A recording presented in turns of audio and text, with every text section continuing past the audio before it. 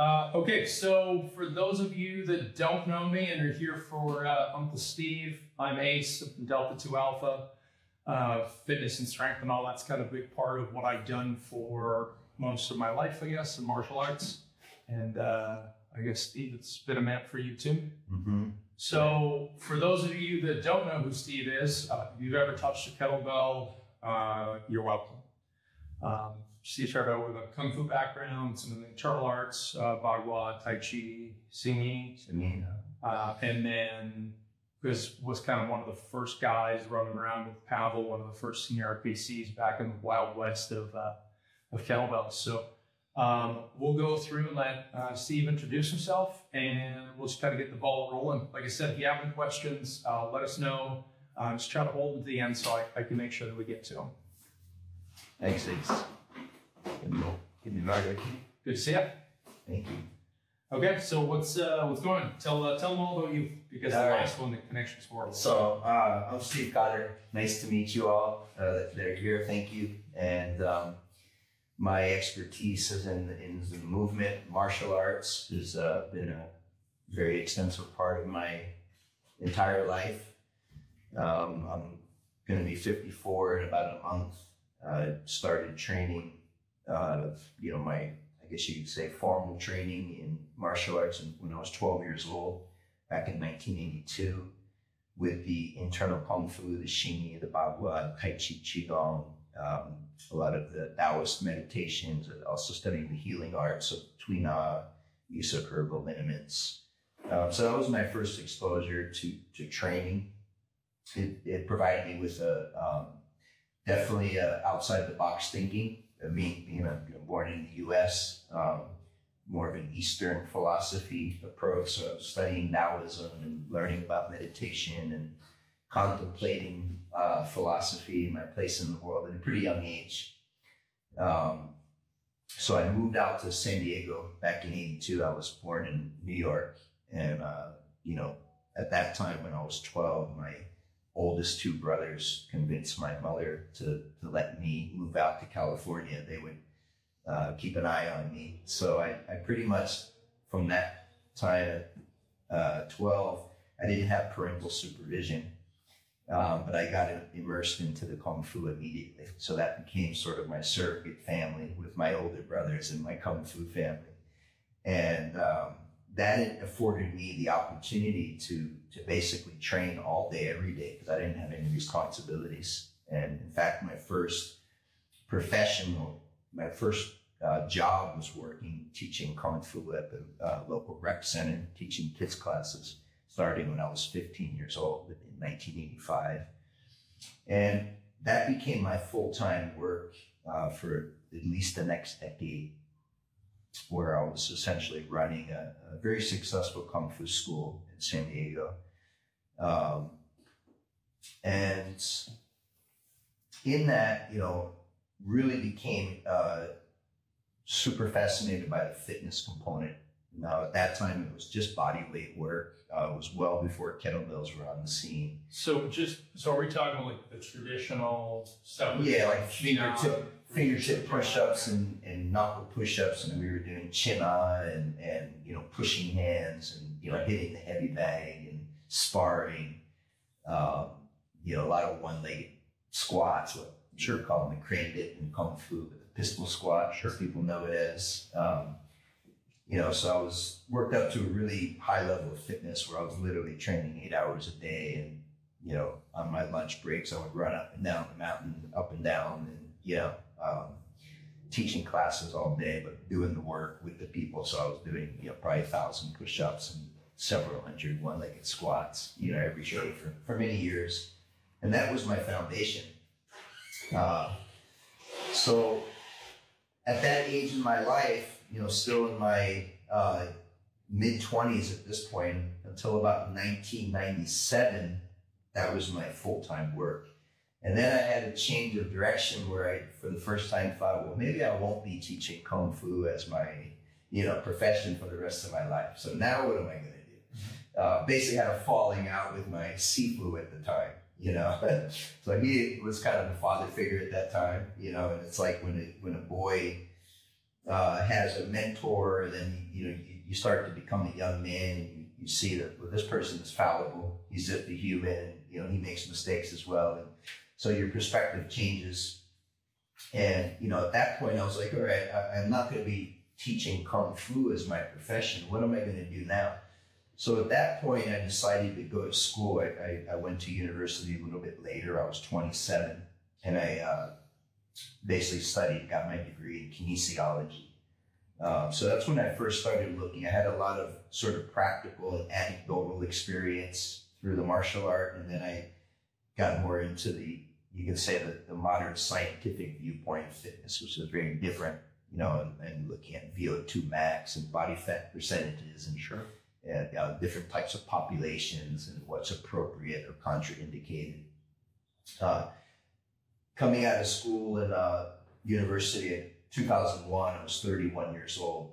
Right in that period, is kettlebells were brand new on the scene, Okay. and um, so I was one of the very first adapters. Uh, Pavel Tsatsouline and his uh, business partner John Du Cane with Dragon Door. They were really the first in the Western world to uh, create a program and to actually manufacture kettlebells. So I was one of the first adapters when I saw the kettlebells in this. Um, it was actually a martial art catalog called Vitalis. So I had been a customer for years and buy like DVDs on, on Qigong or these types of things. Sure. I started seeing these advertisements of, of this kettlebell and it was, it looked really intriguing. Um, now prior to that, when I was like a, a late teenager, you know, I started going to the gym and doing just what was known at the time, which was pretty much of a bodybuilding, like, you know, look at the Muscle and Fitness magazine and okay, we're going to do curls and, you know, and, and um, you know, mentally looking at, okay, I want to be, I want to look good for the girls at that age, right? But in terms of, uh, in terms of a martial artist, I never felt like that contributed to my efficacy to make me a better martial artist or a better fighter. You know, I, I got bigger and stronger in terms of the, you know, linear strength, but I didn't feel it made me a better martial artist. So and you have you seen the the stone locks, like the Chinese stone Yeah, that was also- the kettlebells? Yeah, absolutely. I, we we actually would make our own stone keys, our own stone locks, you know, flipping, and you know, so some people would compare that to sort of the Chinese version of a kettlebell, although the application is extremely different. The way that the way that I was uh, studying the, the stone keys, we would we would swing it, but then we would flip it to develop that that short range or kind of flip it and catch it. So it was more similar to what we might call kettlebell juggling Okay. but obviously with the square shape, you know, it, it wasn't something you didn't really insert your hand or anything like you would with a kettlebell. So yeah, I did have that that experience with the stone key and um, a lot of the traditional Chinese martial art trainings. I was even digging holes in my backyard and you know putting on ankle weights and jumping out of the hole. And of course, you could use a plyo box, but takes away all the hard work and the fun of digging a hole, right? That's part of the process. You dig a hole and you jump up onto the. Absolutely. Uh, there's a lot of those types of traditional training, iron palm and you know iron body and, and all these different types of weightlifting uh, protocols. Uh, so 2001, I got involved with the kettlebell. And I uh, connected with Pavel, I guess it was in 2002. Uh, Pavel was out in San Diego for this, some kind of uh, strength challenge called the Tactical Strength Challenge. And I was one of the competitors there. So, you know, Pavel, uh, you know, made a mention, oh, you're, you're also very flexible. And um, so I was one of the one of the winners of that event. And uh, so I got a, a complimentary um, complimentary admission into the RKC that was coming up like a couple of months after that. So I flew out to St. Paul, Minnesota, and again, I was a second occasion to meet Pavel. Um, now at this point, although I was still pretty new to kettlebells, I had actually picked up the basic movements at that time, what was known at that time, which has evolved immensely since then. But we're talking a little over 20 years ago. I was basically just following. Uh, Pavel had a DVD called the Russian Kettlebell Challenge, so I was, you know, learning the basic moves off of that. By the time I went to the RKC course in 2003, I had already been playing with the kettlebells for about a year on my own. And um, you know, I was pretty strong and pretty athletic, but most of that was from my kung fu background Yeah. prior to that. So immediately, Pavel was like, "Well, you you you're uh, you know you have the physical attributes, but you also know how to teach." Because I've been teaching kung fu for again at that point, fifteen years or more. Um, so I had an understanding of how to communicate, how to how to lead people, and how to break down movements. And so it was natural at that point uh, for me to be a kettlebell instructor. And so Pavel said, "I'd love for you to you know come back next next course and be one of our senior instructors." You know, so that sort of began that, and I was with uh, Pavel and his organization for for I guess about three years. Sure. Um, in that time, now now another it's not related to kung fu or or to the kettlebells, but it is a significant kind of error in the fitness. Is uh, one of my very closest friends. Well, we, we didn't know each other at the time, but we've since become you know very close friends. Uh, he invented the Bosu balance trainer, which is like a Half ball. half ball. Sure. Almost every gym and every It's great for physical therapy. Yeah, you know, ab training, standing balance. There's a lot you can do with it. But um, so when he, when my friend David Weck was making this by hand, he was literally cutting Swiss balls in half and you know duct tape and staple and glue to a wooden platform so it was round on one side, flat on another. Well, that would have been hard. Yeah, yeah, and then and if, eventually the manufacturing came a little bit after that. But when they were still being handmade, I was touring around the country with David, uh, going to all the big fitness shows. You know, Idea, IHRSA, and Club Industry, and these other shows, um, and just inviting people at the trade show, come and try this, and stand on it, close your eyes, and stand on one leg, and doing all these things. Um, so that was an an area of you know immersion where for a couple of years I was really focused on training balance via the Bosu. And then the kettlebells came in a little bit after that, you know, a year or so after that. So when the kettlebells hit, I got really immersed in the kettlebells, training kettlebells all the time. Graduated school. And so, well, what am I going to do? I'm going to go into personal training. You know, so I started started doing personal training in San Diego, and I was at that time there was no kettlebells in any gyms, and the, the kettlebell, the way that it grew was very non-traditional. It didn't go into the sporting goods store like most products. It was an internet product. So the early adapters were people that were adapt at at the internet, you know, uh, which was still pretty young at that time. I think it was before even YouTube, you know, YouTube. I think it was 2004.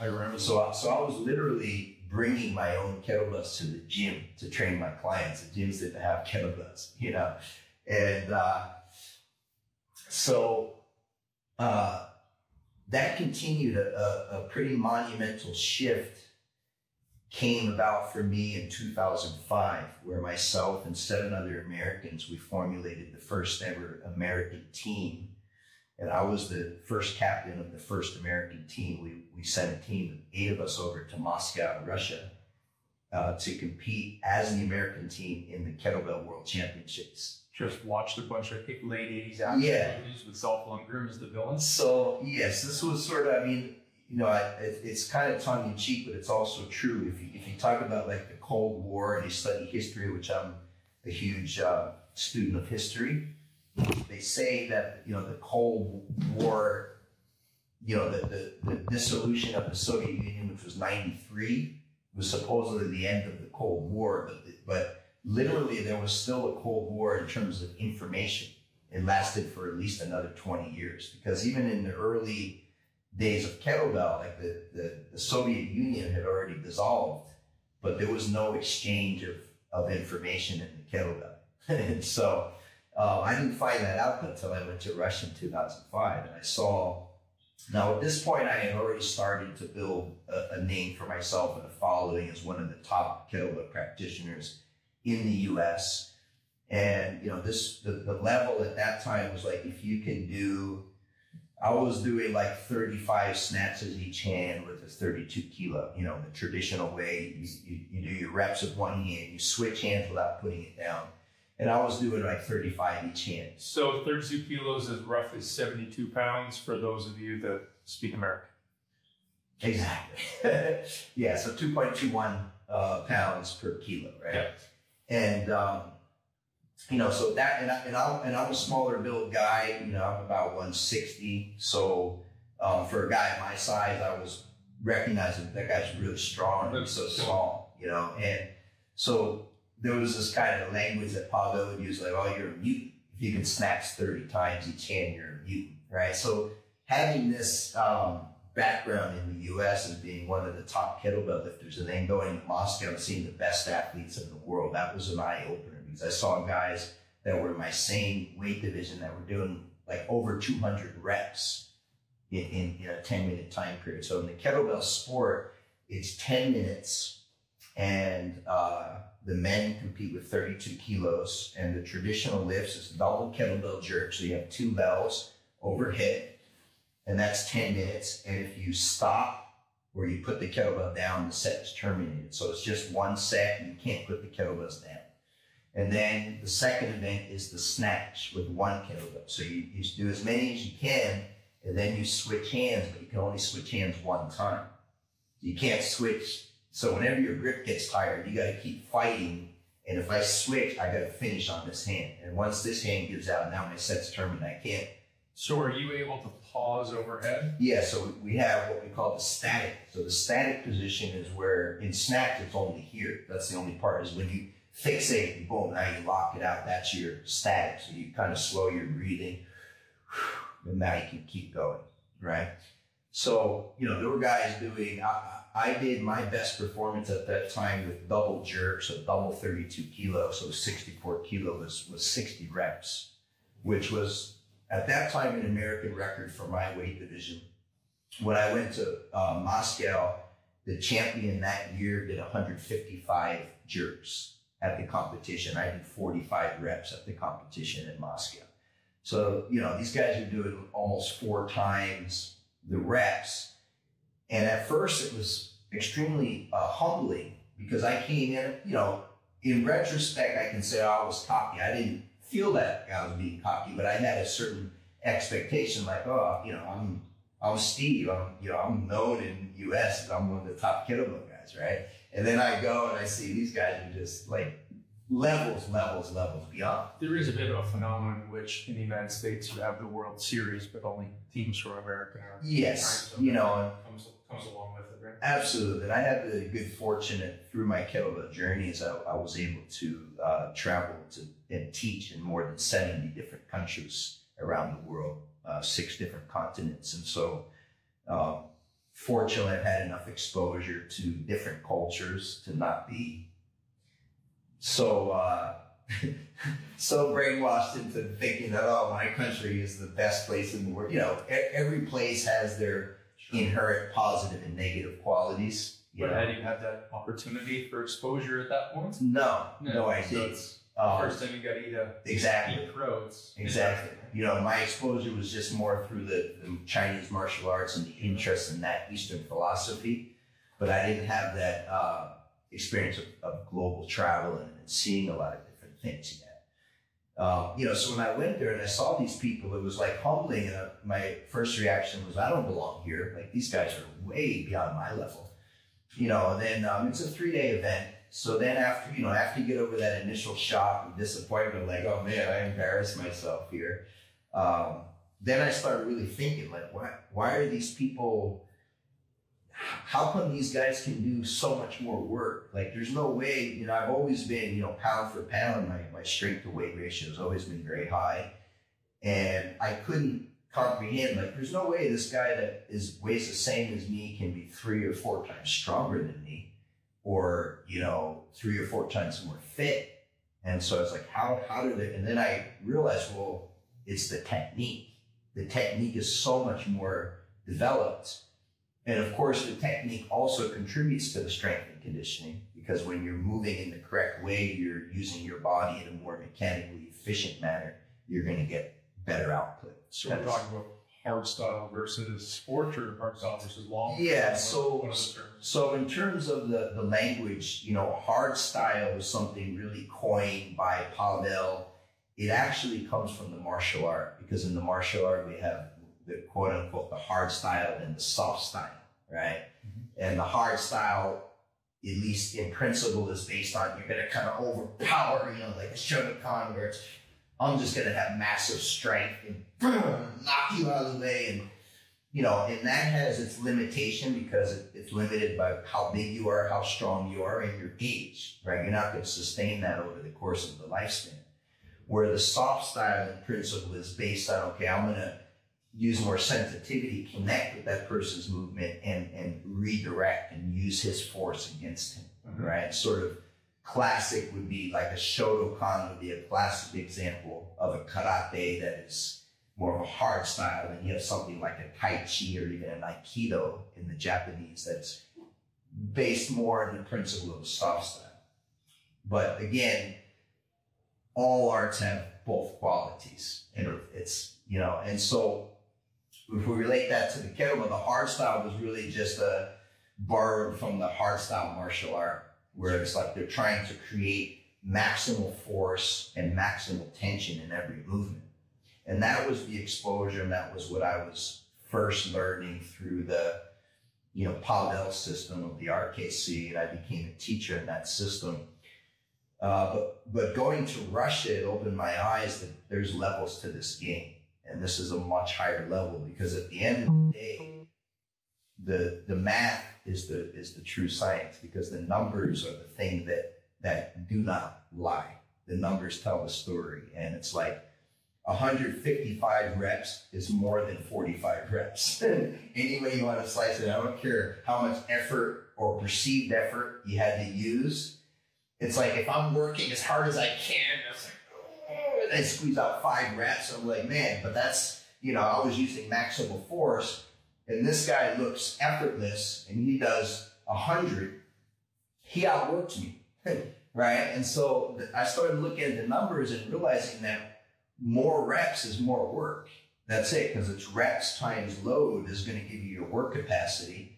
And then you divide that by how long it takes you, that's going to give you your power output. You're moving X number of kilos, Yeah. X number of meters, right? Exactly. And that's something that's not based on your intu- intuition or it's not based on how you feel or your perception of how tough the workout is. It's based on the amount of work that you actually did, which is a measurable quantity. Mhm. And so, in any case, having that exposure opened my eyes to realize, like, man, I don't really know what I thought I knew, or there's a lot that I do not know. And so I became really interested because uh, one of the great values that martial art has ingrained within me is the idea of being an eternal student.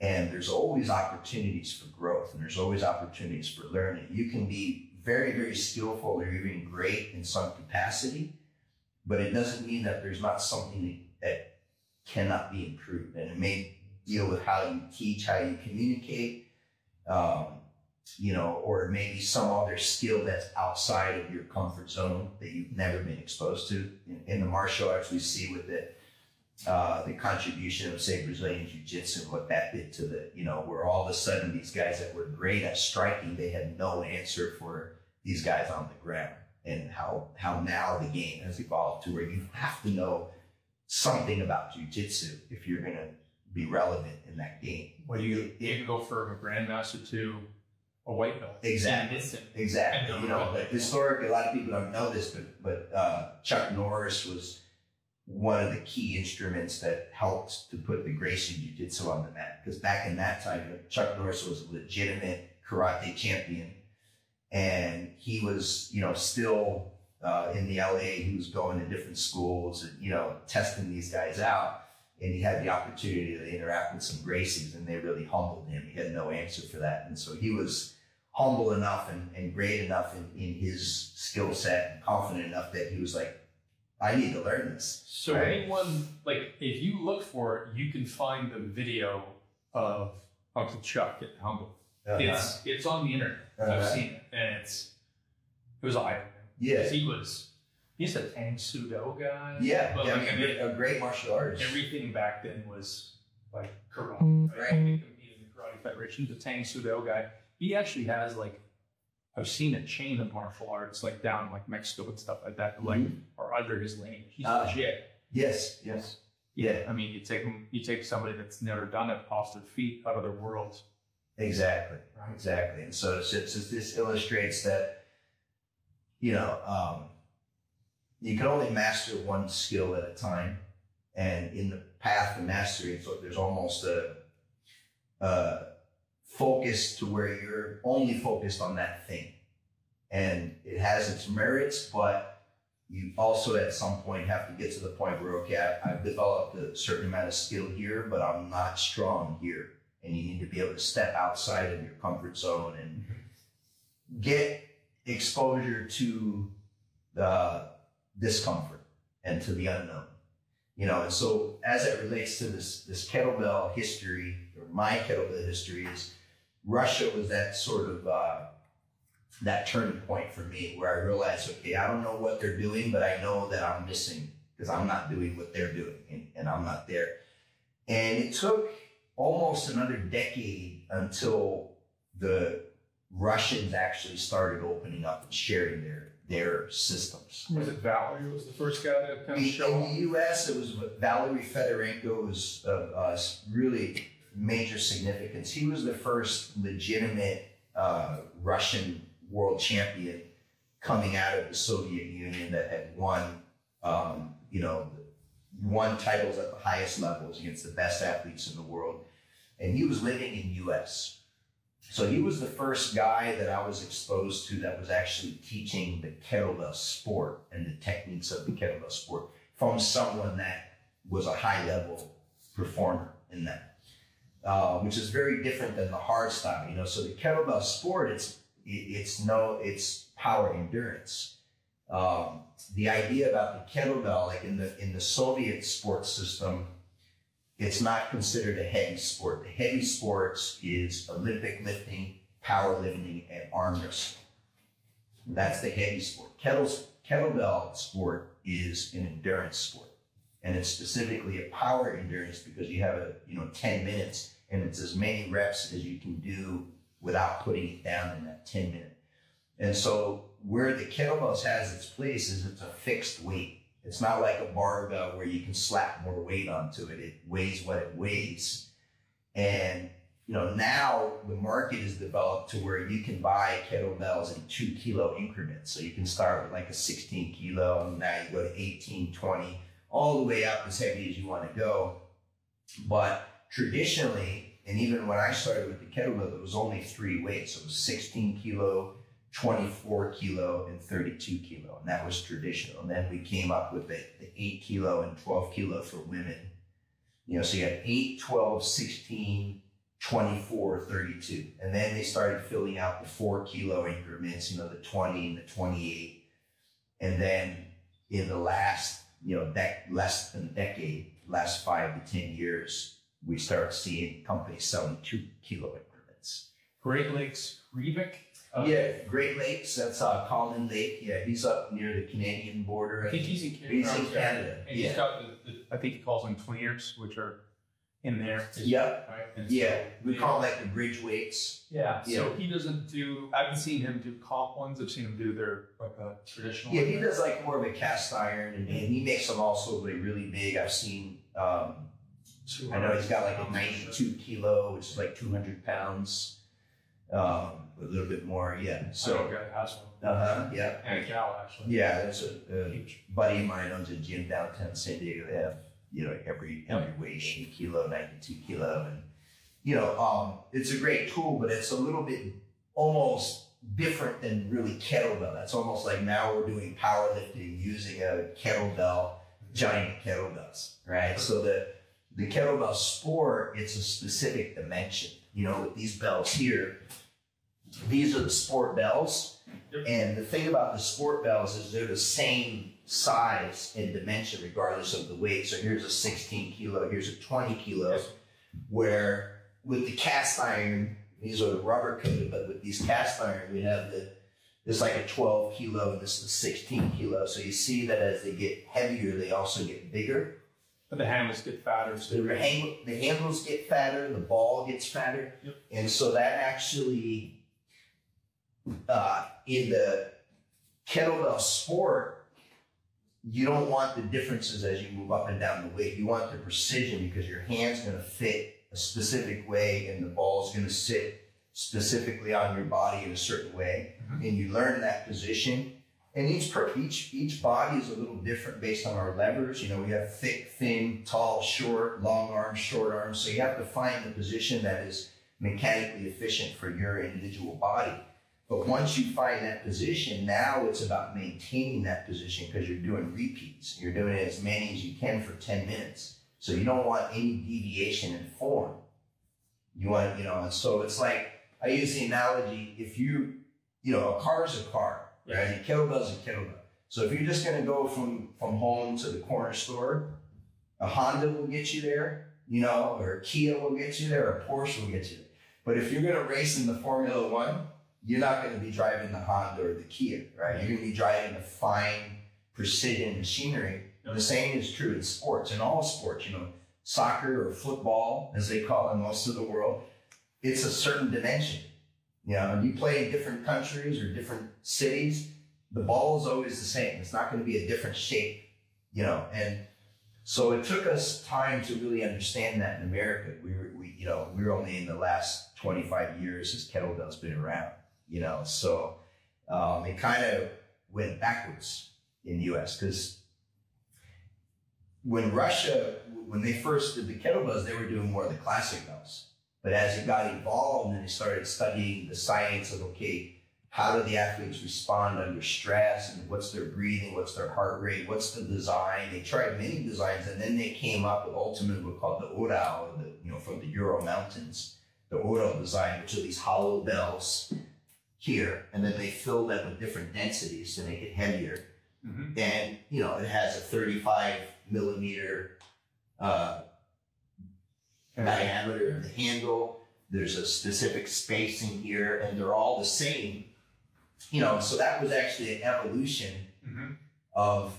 So yeah, there's a lot of differences. You know, the hard style, um, it's great for fitness, but from what I've seen over the last 20 plus years, you know, the most, the highest performing athletes are always going to be coming from the kettlebell sport because again, the numbers are telling the story. And a lot of times people will start with hardstyle because that's their first exposure. Maybe they do an internet search and they see, you know, StrongFirst, they see RKC. So it's like, that's the one.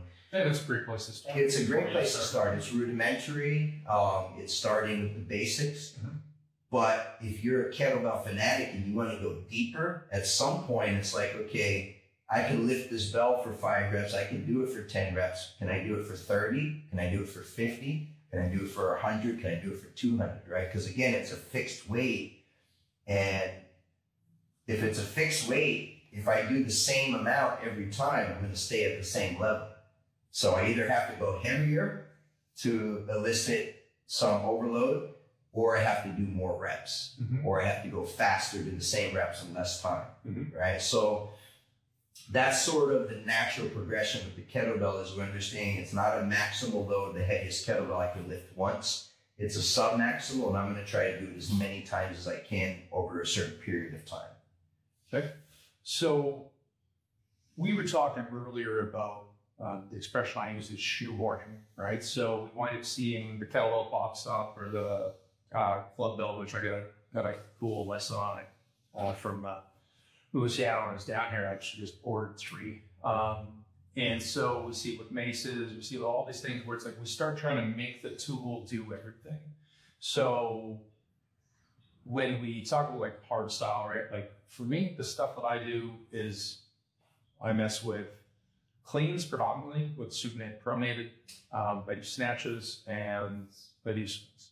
Um, and I don't really bother with anything else. Uh, occasionally I'll do like a jerk or something like that.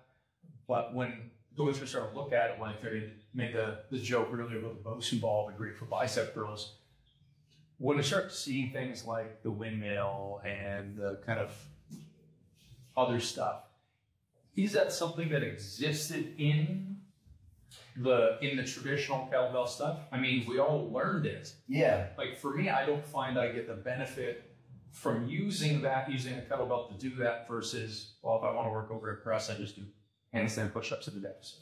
Absolutely, yeah, um, yeah. So if we're talking about you know the origins, and now you know historians will look at and say, oh well, kettlebells didn't really originate in Russia. The Greeks had a handheld weight that they used, and the Germans had a hand, and other cultures had a handheld weight. You know, the Scottish throw of something that's similar, sort of, to a kettlebell. I worked in a meat plant and we had those Chinese stone logs. Uh, I had steel versions of them. There were weights on the scale, yes, right?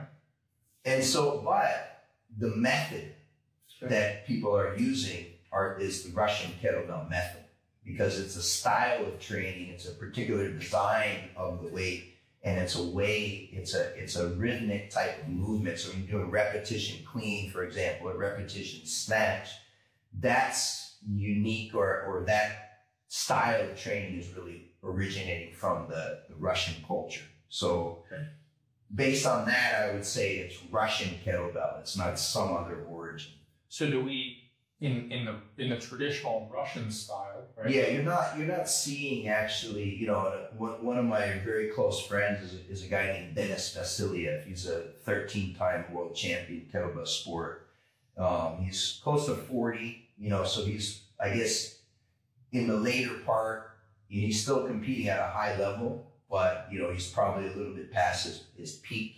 Sure. Um, he's the lightest guy ever to do more than 100 reps of double long cycle with double 32. So long cycle is where you clean and jerk every rep. So it's a clean and a jerk, and it's a 10 minute.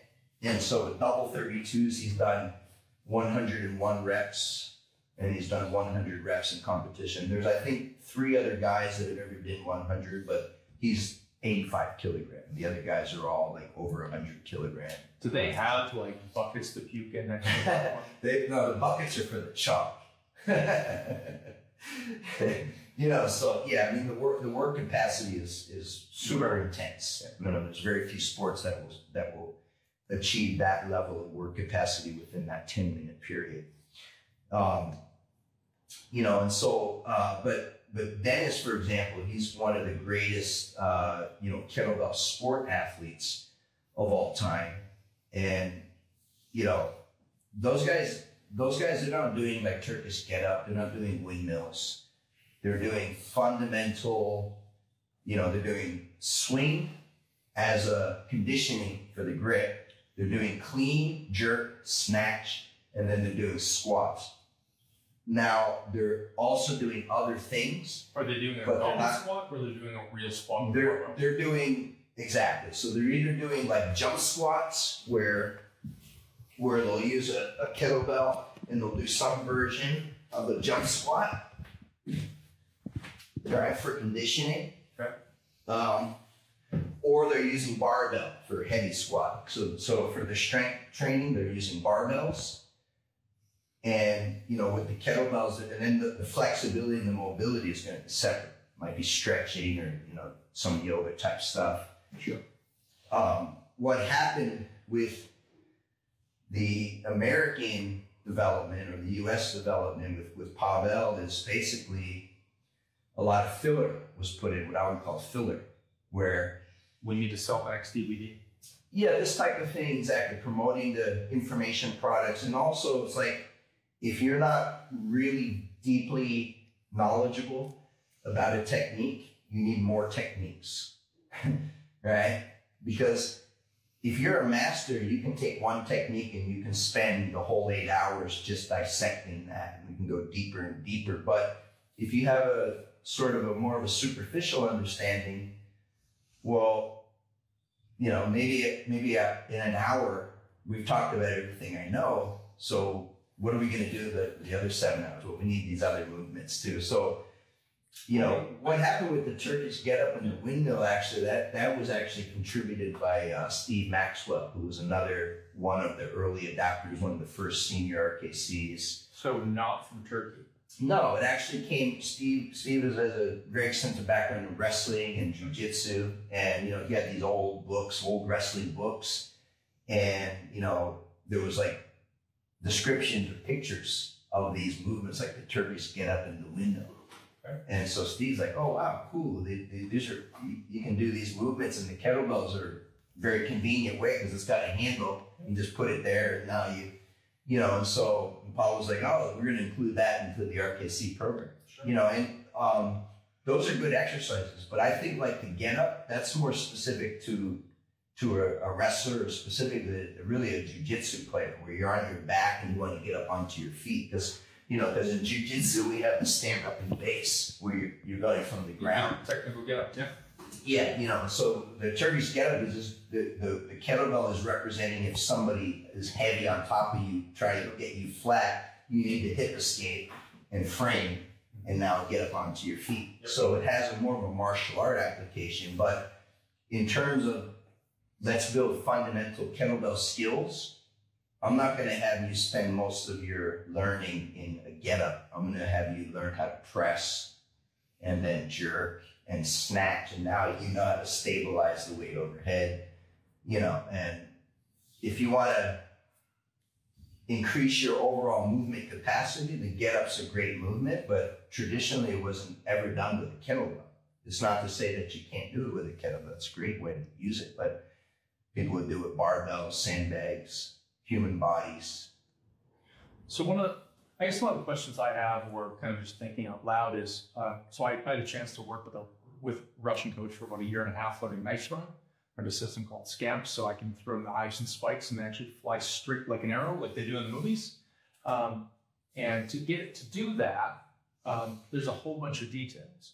And so, just thinking out loud, how much of it is that we're creating these exercises to hold the attention span of Westerners, and I mean like whether it's right Western Europeans, Canadians, or Australians, where it's like we could do eight hours on like all of the intricacies of this one movement but people are going to be bored. And No one's going to do it, and we just kind of there's that desire to have to go to the grocery store and have eight different types of apple choose from versus you get one, right? And so, I mean, there might be might have been as much marketing choice as it was anything else. I do think, you know, the, the consumerism that Western society, America most specifically, but Western societies in general is, is very much consumer oriented. And I think that that does play into the need to present variety sure. and choices because, um, you know, I'm not sure the exact reason. I think attention span, we have such a, a technological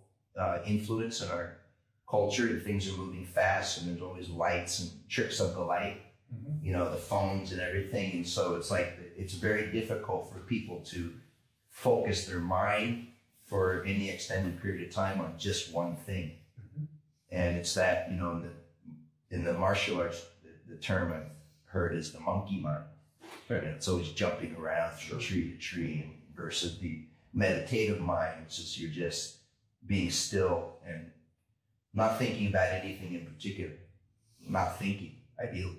I think that in the West, we definitely get called, uh, get taught that uh, de Nuevo, uh, the cult of the new, mm-hmm. right? So we just kind of see this thing, and right, uh, like I had asked you about, you know, there's, there's clubs and maces and I and sandbag training and stuff like that. Oh, I really enjoy that.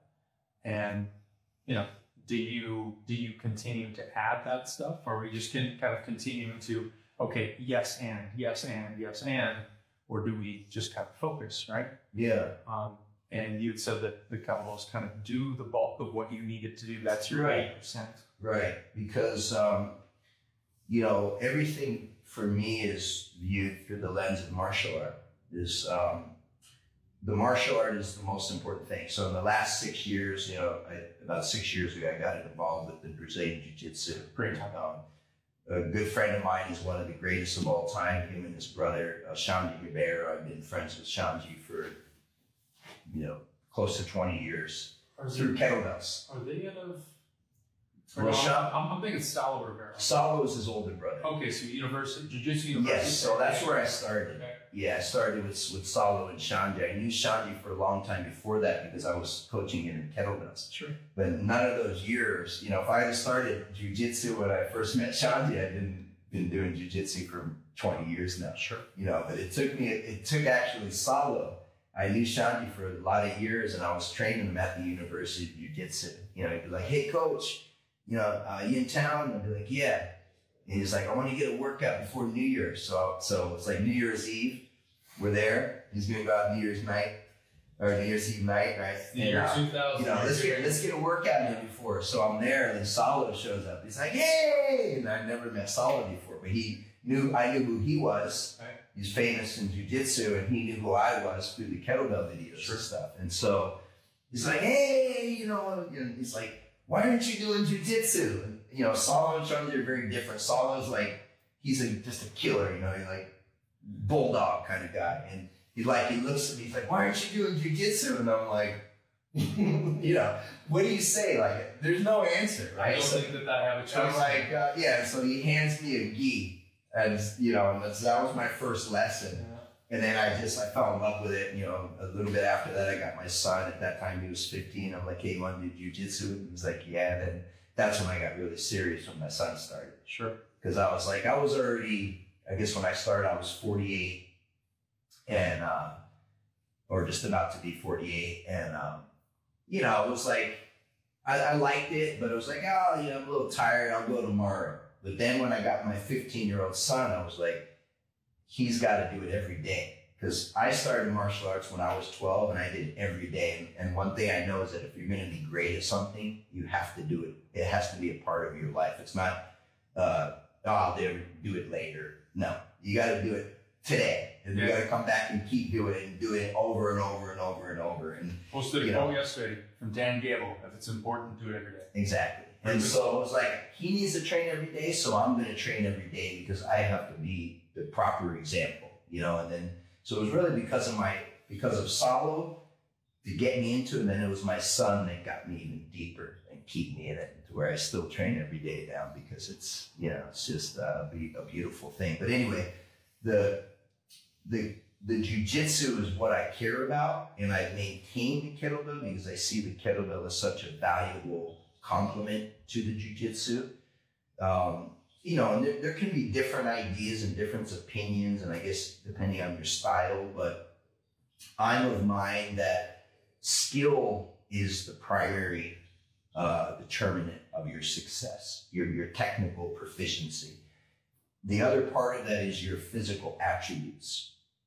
The skill is more crucial than the attributes. So, in other words, someone can be a bigger, stronger, you know, more athletic person, but if they're going against someone that is far more technically proficient, they're never going to be able to beat that guy. Doesn't matter how big or how strong or how hard they try.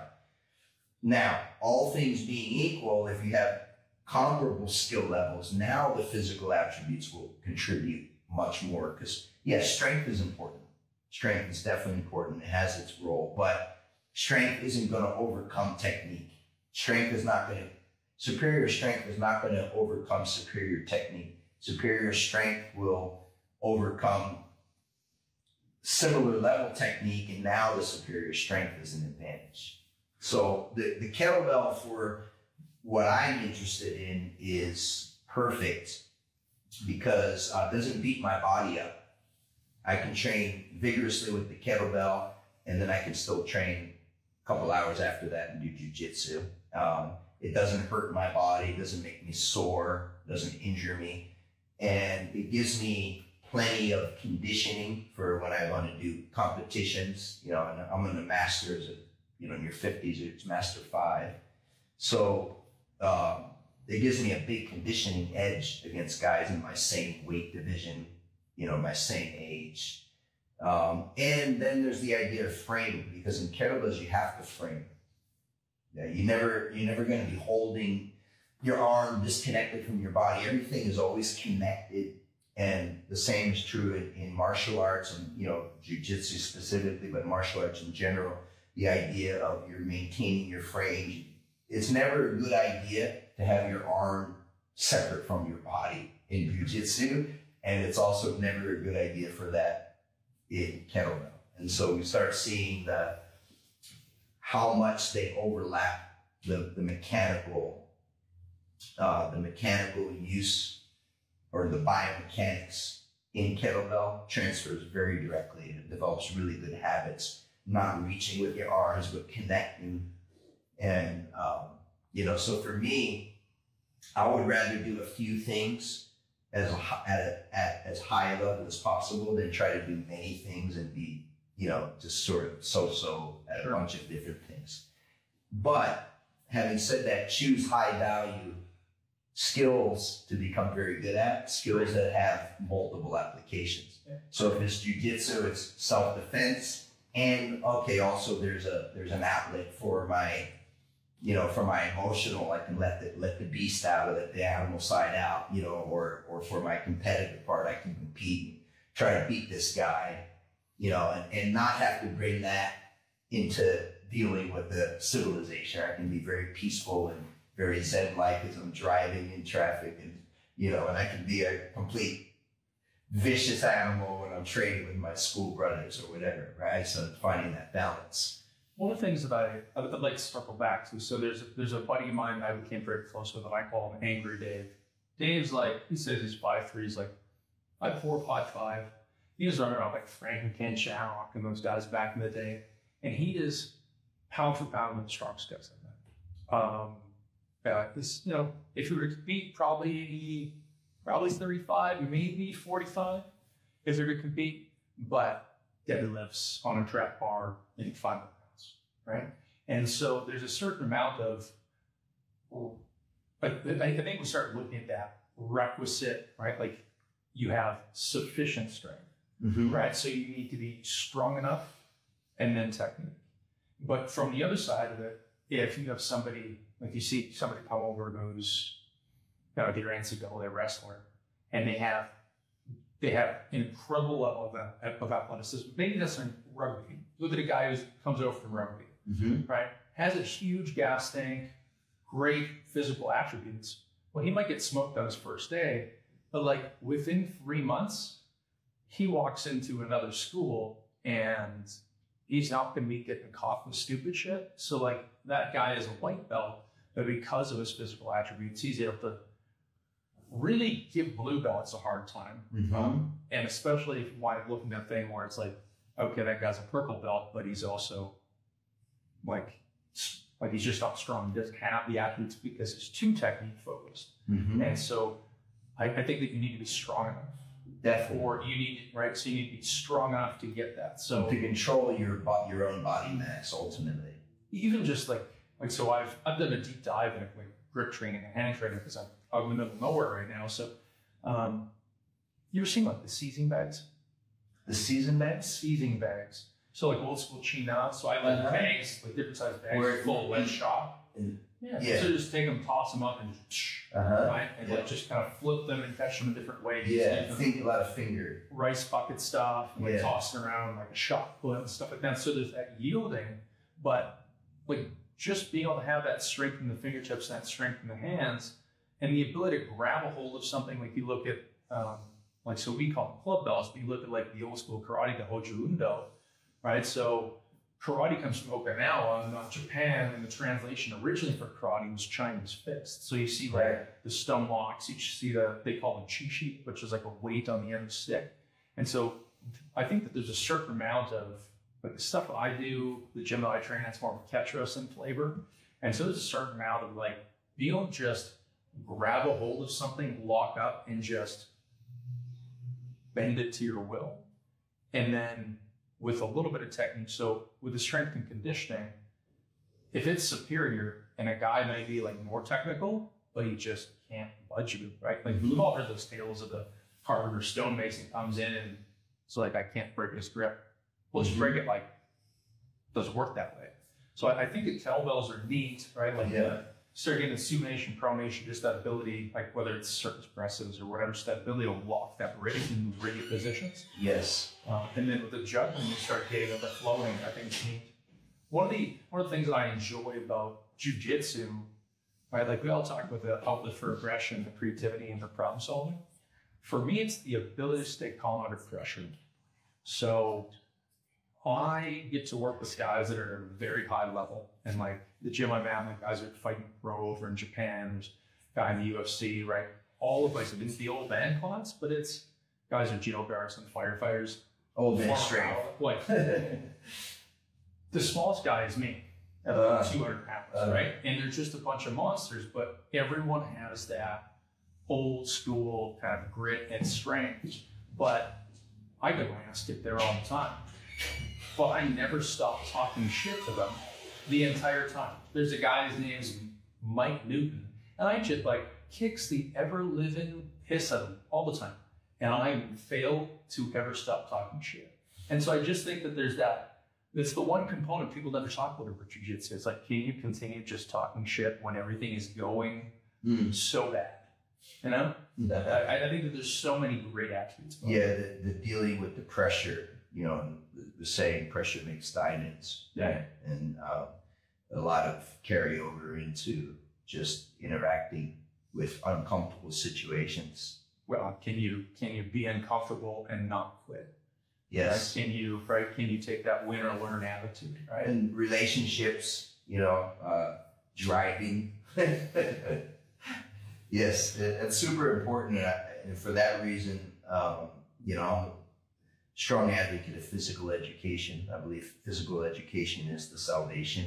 Um, we all know education is important, but there has to be physical education because if you're just uh, training your intellect without the physical education, there's a loss, there's no balance there.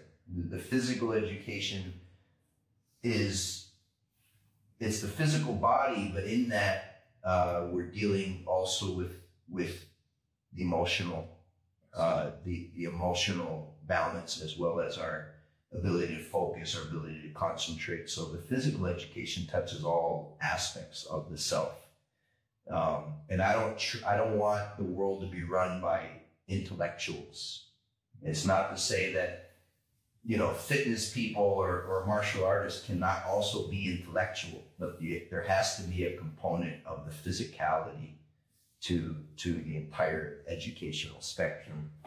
So I'm a big proponent of children uh, being exposed as young as possible to the martial arts because for no other reason is it's presenting uh, presenting them with uh, uncomfortable situations and pressure and and in a structured environment learning how to face difficult challenges and uncomfortable things and learn how to find grace within that and, and deal with it without flipping out without losing your mind without going crazy you know and um, i'm much more comfortable in a room full of you know, just absolute killers than than I am in a room full of, you know, people that say all the nice things, but they've never really had their their you know butt to the fire where they had to let's see how you react when when someone's really squeezing you and maybe you're not such a nice guy after all, right? You're not so graceful under that type of pressure. So people that have that pressure testing day in, day out, it develops a a, a certain amount of self control that I don't think you can develop without that. We also a lot of the like the cultures that we look back to, whether it's the Greeks or the Romans, or we look at you know um, the Chinese or Taoism or right uh, Buddhism. All of those had a certain amount of physical culture involved with them, right? Like the, the monks of the Shaolin, right? There was the 72 exercises or whatever it is that they were they were taught Mm-hmm. and that was a part of it, strength conditioning, right? Um, right, we go sort of look at the Greeks. There's a strong physical culture there. Yes. You can still find go to like a park in China and find seventy year old people, Yeah. right, playing with the stone blocks, doing the tai chi, Yeah. Right? Like there's, I found a video. It was the Chinese Minister of Health that was like in his early seventies, and he's doing like muscle ups and giants in the park, right? And so it's just like a giant for anyone who doesn't know, it's like spinning around with a right? And then so you go and you look at that, it's like, and so all the cultures that we look back on for wisdom were also like physical culture, strength culture was a big part of that, not just being a dummy, right? Yes. That integration of the mind, body, and breath. Absolutely. Yes. Um, before we kind of move on to something, how like just speaking generalities, how is it that the the sports are do you say long form or Long cycle. So long cycle. How is the long cycle movement differs in philosophy than the hard cycle? Obviously, there. Yeah. So so I mean, if if I were to do a you know a hard hard style per se, I'm gonna try to have maximal tension, and I'm gonna the breathing very for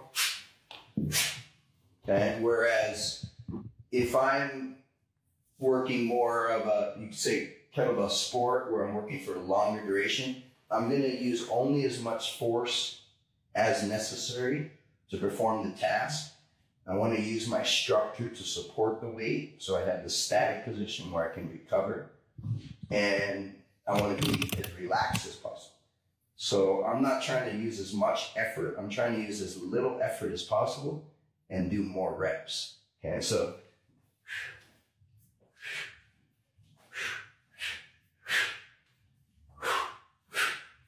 so I'm going to be more active with the breathing because I'm constantly up, offletting versus tensing the breath and kind of compressing. I want to be more. So long cycle. Do this one arm long cycle.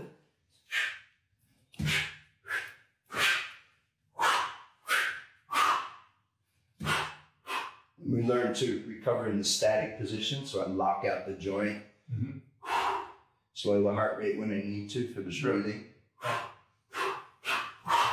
Sure. breathing. Resting here when I need to.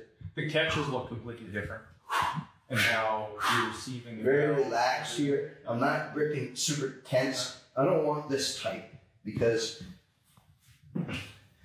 the forearm flexors are very strong, but it's fast twitch and they're going to fatigue quickly. Yeah. Which means you can't, once your grip gets, you can't hold it. I want to be loose and just move the hand inside. Nice. And so I'm really activating more of the finger flexors, Sure. Which are more slower twitch endurance fibers. So that's sort of a fundamental difference in the approach. Mhm. Where the hard style is I'm trying to use as much effort as possible. And so naturally, you're not going to be able to do a lot of reps. It's like if you're driving fast, but you have the parking brake on Okay. right, at the same time. So you want to stay super relaxed, but there's going to be tension, but it's just being able to alternate between tense, relaxed, tense, versus maintaining tension the entire time. That would be kind of the fundamental difference in, in approach and what your values are of a training. But at the end of the day, that's why I say focus on the, the, the numbers. It's the weight times the reps is going to give you the total work. So for the for the point like devil's advocate, people look at something like the the butterfly kick and pull up or, or something like that, right? So yes, the volume goes up, but they want to be start the power doing the same work. Yes, exactly. So, uh, rule of thumb, I mean, and again, over the lifespan, you have to think about if you're injuring yourself in your training, you, you're not going to be able to sustain that. So, the rule of thumb, and it took me a long time, you know, you don't think of these things when you're 20 years old necessarily, but um, if I can't be doing it when I'm in my 50s and 60s, then I don't need to be doing it when I'm in my teens and 20s and 30s. All right. So, um, you need to think about you should be able to continue to do whatever the thing is that you like to do. You should be able to continue. It's not something that should just be age specific because if it's age specific, you're not going to be able to do it when you're older. And that's probably because you don't have the capacity because you injured yourself Sure. in that chase for you know numbers or chase for weight or yeah so having a, an eye on long term you know longevity and sustainability is, is of extreme importance in your overall health and wellness Awesome. So uh, just got a couple more questions for you. Uh, if anyone is in the comments and has any questions, feel free to put them in there. Um, how has your outlook on the kettlebell shifted from when you started until now? Uh, definitely uh, following, you know, my interests. Um, you know, in the last six years, to focus so much on jujitsu that now it's about how can the training complement the jujitsu. So it's much more dose specific. It's not just workout for the for the sake of working out. It's how can I get as much conditioning benefit in the shortest amount of time and not leave myself beat up, so that I can train, you know, really with with full intensity, you know, on the mats later today. Um, and I become much more interested in mobility as far as um, not having pain, not not having stiffness or restrictions in movement. Um, you know, so- Pebble in your shoe sucks. Yeah, so not not you know, yeah, I'm chasing it. When I was starting kettlebells, it was about okay, I want to lift the heaviest kettlebell I can lift, um, show how strong I am. Now it's more about okay, I'm gonna I'm gonna use a weight that that's comfortable, doesn't beat me up, but I'm still getting a conditioning benefit, and I can recover from that workout quickly, so I can come back and, and train again later. How has your own personal training changed?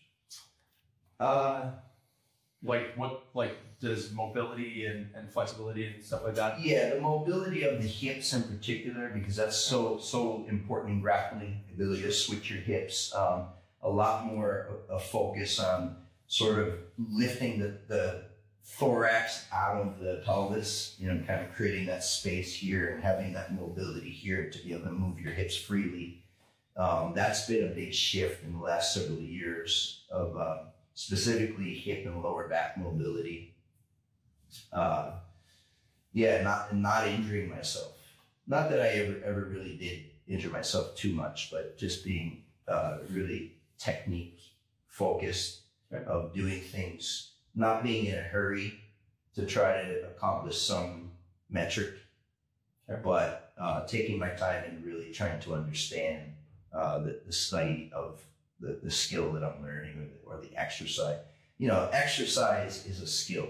It's a it's a movement pattern. So what's the skill of that movement pattern versus okay, I can clean this number of reps or this amount of weight. It's how, how yeah, how can I efficiently get my body into that position? I like the point that you talked about about like if, like you have to keep your elbows in for that structure and stuff like that. I mean, whether it's video or boxing or I mean fighting in general, like you want your elbows in.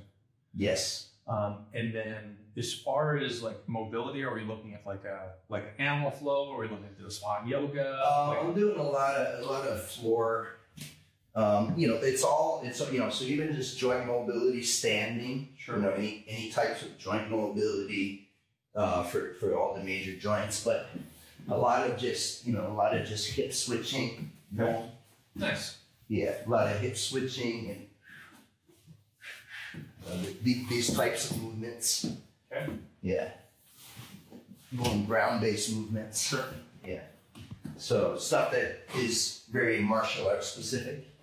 And you you have some stuff that's coming out on that. Yeah, absolutely. So I have uh, various. Uh, you know, I made a lot of DVDs in, in my time that most people aren't using DVDs anymore. So more recently, I have some digital downloads. BJJ Fanatics. So uh, kettlebells for jujitsu, and you can just go to BJJ Fanatics uh, website and you can type in my name and find that. Um, I have a mastery of the fundamentals of kettlebells, um, and then I, I've just created four new ones that are going to be out over the next couple of months. Excellent. Uh, I all related to kettlebells and mobility. That's really my my forte and my expertise, and what I focus on is in uh, you know kettlebell training, which the kettlebell provides the resistance. It's my preferred form of resistance, and then the mobility is your movement skill. So it's you know release releasing stiffness, releasing pain, and uh, moving more freely, moving more skillfully. Excellent. And where is it people can find more about you? Uh, so my website is ikff.com, ikff.com. And then, uh, you know, mostly I'm more on Instagram. So just Steve Cotter, IKFF on Instagram. We'll make sure that uh, we put all the contact. You guys are welcome to, you know, reach out anytime. Happy, happy to interact and answer questions. Um, if you do wind up watching this on YouTube or you did wind up getting kind of the first of it or whatever, I will have all the contact info and everything for uh, for Steve. And then if y'all watch the whole thing later on, it's on YouTube. It's a lot easier. I will do that up in the next day or so. Great. Steve, it's been an absolute pleasure. Thanks a lot, Ace. Thank you so much. Thank you guys.